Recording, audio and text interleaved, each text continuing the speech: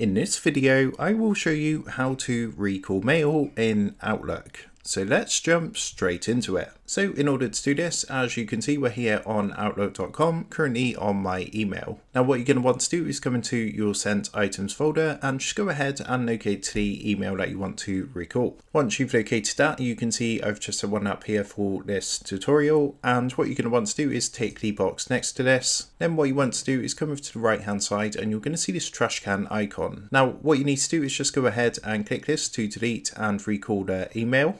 If the person that you sent the email to has already opened it, unfortunately you're not going to be able to record it. So if you have sent something by mistake, you want to do this quite fast before the recipient opens the email. Otherwise you're not going to be able to delete and recall the email. But that is how to go ahead and recall mail in Outlook. With that being said, I hope this quick tutorial did help you out today.